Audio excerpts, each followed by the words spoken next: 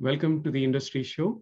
I'm your host, Nitin Bajaj, and joining me today is Sheetal Ajmani. Sheetal, welcome on the show.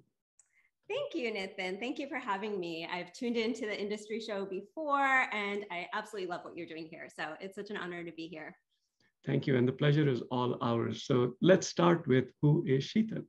Yeah, so who is Sheetal? So first and foremost, I am a um, spiritual being having a human experience. And I realize that that is a bit of an esoteric response. So I am also a pediatrician. I'm a best-selling author. I am the founder of Radiant Living Institute. Mm-hmm. I am a runner, a yogi. Most recently, I've gotten into gardening, which I'm really excited about. Yep. I'm also a daughter, sister, and friend to many. That's amazing. Well, we'll learn more about you. But before we jump into that, let's play a game. We call this the underrated, overrated. And uh, it's a one word response about these mega themes that impact us a little bit, right? So let's start with uh, stock market prices. Overrated. what about real estate prices? Can I say overrated and underrated in some ways? I know you said to avoid long explanations with this game. That's the trick of the game, right? It's hard to do that. Uh, what about NFT? Uh, overrated. Crypto? Overrated. And the metaverse? Overrated. Okay. What about uh, cash?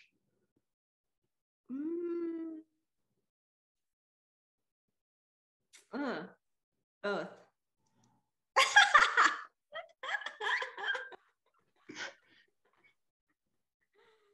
I'm going to say overrated. Okay. And uh, inflation? Ooh.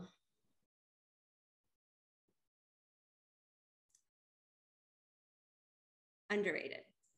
Okay. And the last one, the great resignation? Um, underrated. Well, thanks for playing along. Hopefully, it was a little bit of fun.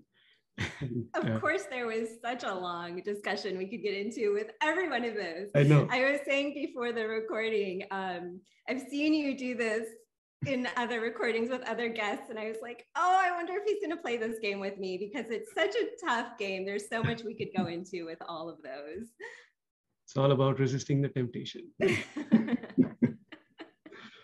so, tell us what is the Radiant Living Institute?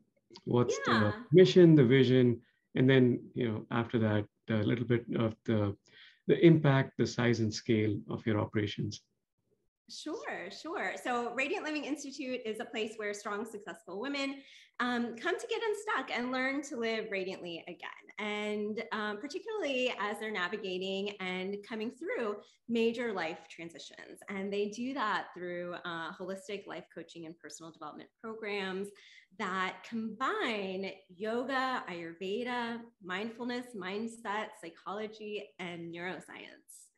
Um, in terms of you asked about kind of the size and scale mm-hmm. of the operations so right now i'm a solopreneur mm-hmm. um, and the impact is really one-on-one so i work with clients one-on-one and in small group settings um, virtually so all of my programs are um, what could be considered high touch programs mm-hmm. meaning a lot of face-to-face time with me to specifically help you my clients work through your needs um, and certainly, I plan to scale and grow this business, the um, impact and the team over the next few years. But right now, I'm running a solo show.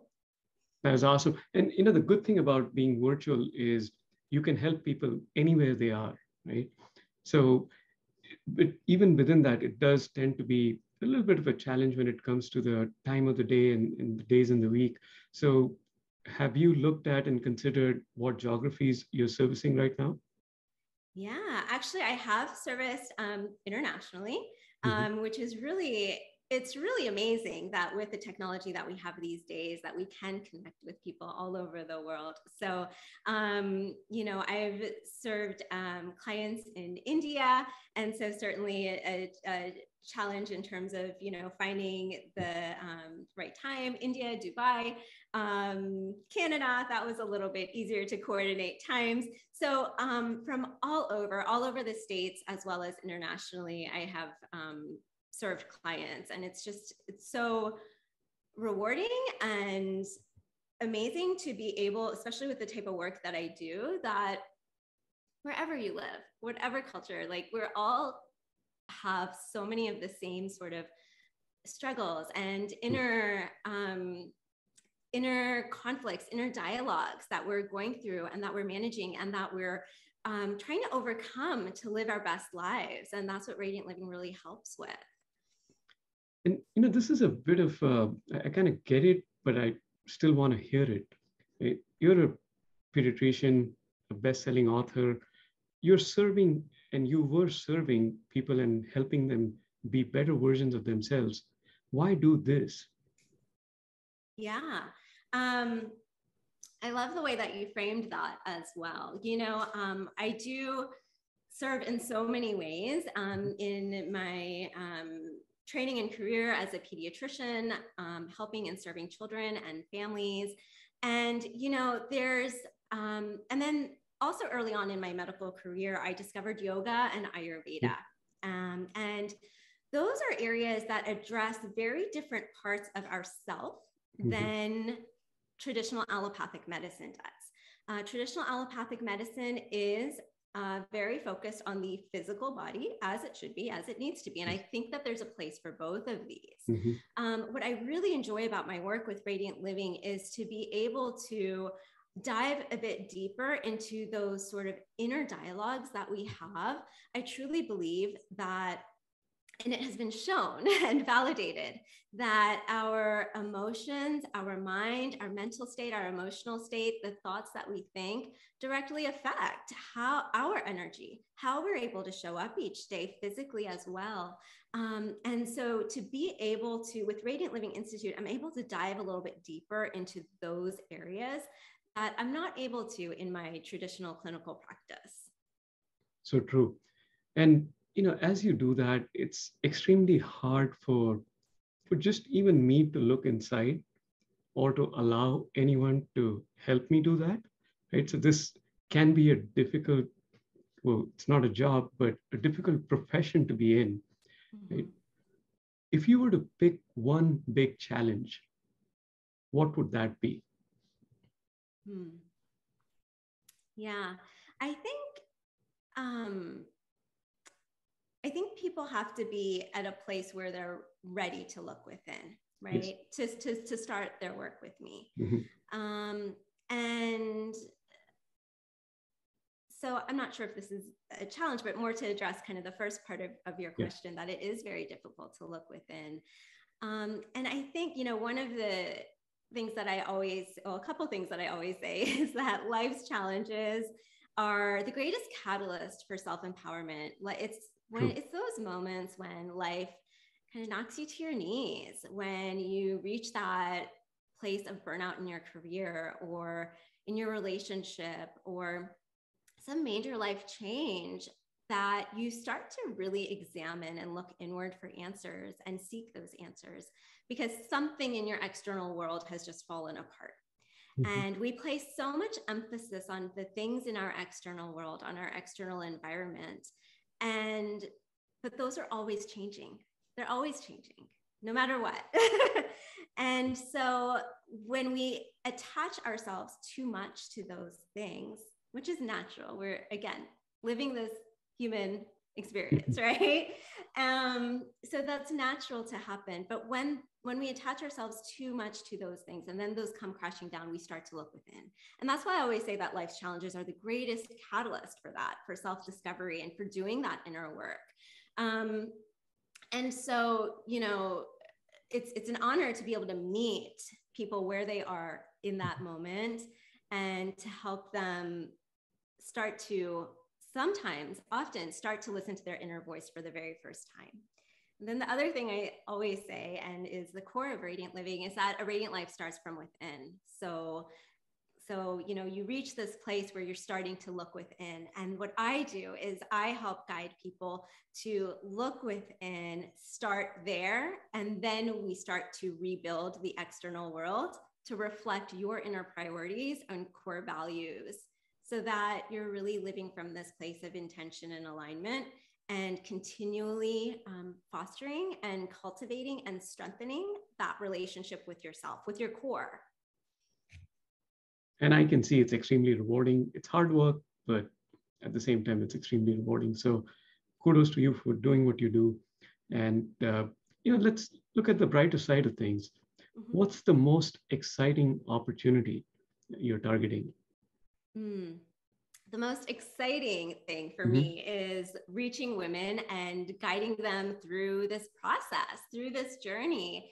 Um, you know, I've guided so many women from a place of feeling depleted and drained, um, being in toxic, really unhealthy relationships or work environments, mm-hmm. or um, things like empty nest syndrome for the first time in 18 years their kids have left the home for the first time and trying to navigate rediscovering themselves or um, transitioning to retirement mm-hmm. um, you know these big moments in our lives when we're rediscovering and, and kind of getting our bearings straight again. And so the most exciting opportunity is working directly with those women and seeing their transformation. It just lights me up to see them um, work through all of that and get to the other this other side of just joy and radiance um, joy and radiance and feeling fulfilled and that they are um, starting to in terms of their relationship with themselves, cultivating greater self compassion. So many of the people I work with, we tend to be, you know, strong, successful, high achieving, which also, which is wonderful, but also comes with, right, being really, really hard on our, ourselves. And so guiding people through this journey while also cultivating and with a sense of self compassion and grace um, is just so rewarding to witness that. And to me, that's the most exciting is seeing that impact and that how it translates into their daily life. You know, I just see them doing things that they had long forgotten was even something that interested them, or just mm. having more energy to do the things that they love and spending quality time with their family and friends. I mean, just those things that, like those intangible things in life that make life beautiful and magical. True, so true. Now, if we look back in time and you know through your career profession if you were to pick out two instances one that really blew your own expectations and then another one where it ended up being a failure and you picked up some lessons from that what would be those two instances? Yeah. So, um, so in terms of kind of something that I've learned as a lesson, I would say, you know, it isn't a failure if you learn something from it, right? That is a definite core yeah. belief for me that I have and that I hold. Um, and so, um, goodness, there's been honestly so many things that could be quote unquote considered um, failures or or things that I did not expect to go the way mm-hmm. I'd hoped or had expected, both personally and professionally, um, over over the years, over my life. And so, you know, each one of those um, have though pushed me to study deeper, mm-hmm. um, to dive deeper into myself, to dive deeper into these tools and the lesson in each of those, in every single circumstance, um, the lessons that I've learned are now things that I have been able to put into these programs to help women to build this really powerful, concise, and effective framework of because I tried all these tools. I studied them. I studied the science behind them. I um, implemented them and found ways to implement them in my own life. Um, you know, as a um, busy doctor. As a solopreneur found ways to fit these in and it's such a passion of mine to help um, to help anyone and everyone find ways to um, fit these into their daily life. And so that's my big biggest lessons from all of the quote unquote failures. and, um, you know, when I say I love being able to help people kind of fit mm-hmm. these tools and, and, practices into their daily life, you know, another thing I always say is small changes make a large impact. And so, um, you know, really working with with people to make those small, tiny changes, because so mm-hmm. often we think we have to make really huge changes in our life to see a difference, but often it's those small things that we do on a regular basis. So true. It's and, that 1% a day, right? Absolutely. And it has a cumulative effect. That's yes. the thing. It definitely has a cumulative effect on your energy and your overall well being. Um, and then, kind of a, a success, something that um, always blows me away or that I'm really proud of is that um, the my clients success stories and to kind of pull out i love you know all of my client success stories. I'm just um, feel so proud of and so humbled and honored to be a part of their journey. Um, but specifically kind of to pick one example is whenever clients come back to me months or years after we have worked together or after they've mm-hmm. gone through my programs and they tell me that they're still using those tools and they tell me that they've referred back, that they've saved all the worksheets and put them in a binder, and that they go back, they still go back to that um, anytime they're going through a difficult situation. And so that longevity of what I'm offering is something that I'm really proud of because I'm sure you can relate. I think we've all been in those situations where we sign up for a program or a course we make this big investment, which is always really scary, right? To make an investment like that, um, not knowing exactly the result you're going to get out of it. Um, and then, you know, you go, you attend the program or the course. It seems really helpful at the time, and then a week later, you're back in your regular day-to-day life, and you've, yeah. you know, forgotten all of that. And mm-hmm. so I think we've all experienced that at some point or another. And so the fact that um, clients have come back to me months and years later still using these tools still know still you know it's still having a huge impact in their life. Um, i mean that's just the greatest compliment. And um, i just i feel really proud of that and um, you know feel really proud kind of standing by the programs that i'm offering. True. One it's extremely valuable because it grows with you and it can stay along. And, and the other thing is you can use these tools irrespective of what those challenges are. Right? Mm-hmm. It's not restricted to, it's not a analytical tool that you can only use for work, or mm-hmm. it's not a, you know, allopathic pill that only solves for this problem. Irrespective of any of those life changes, when you have your back to the wall, you can go back and use these tools to bring the best out of you. Yeah, really, absolutely. Really, yeah. Absolutely. And you know what I've done, like I mentioned before, and, and I realized I didn't get into specifics, but kind of all the quote unquote failures and life transitions that I've gone through, so yes. many. Um, I, you know, tried and tested all of these things myself, mm-hmm. right? And through that, how I created my programs was I looked back at that and I, you know, so many th- tools from yoga, from Ayurveda, mm. um, from personal development programs, from psychology. And I pulled together the core uh, foundational pieces that I found to be most powerful. And these core pieces are validated not only from ancient traditions such as yoga or Ayurveda, but they're also mm-hmm. research backed practices. And I have all of these core foundational tools um, or these six core foundational principles outlined in um, a free workbook that I would love to offer anyone who's listening mm-hmm. right now. And we'll include the link, but it's called Six Steps to Create Your Radiant Life. And you download that workbook, give yourself 20 to 30 minutes to just work through it. There's action items, you're going to be writing things out. And I guarantee you'll walk away with actionable steps. And these are the core um, uh, parts of, of my program. That's amazing. And thanks for sharing that and we'll make sure to put that in the link uh, as we post this interview. But I think that's something most people, two things that, that you know, are really important here. One, I believe the best services and the best products are the ones that solve for your own problems, right? because you then make sure that you're addressing every single aspect, every single issue. So mm-hmm. that comes with a lot of validation there. And the other thing is having the awareness that this is something you need because we just tend to go from one problem to the next, from one high moment to the next, from a low point to another. And to be able to pause and reflect and say, well, there is help out there, right? Mm-hmm. You just have to take the time and realize that, yes, I should do this because it's going to make me a better and a stronger person mm-hmm. in the run. So, yeah yeah really appreciate you sharing that. And uh, you know this brings me to my favorite part of the show which is the one line life lessons. Mm. so i would invite you to share your one line life lessons with us.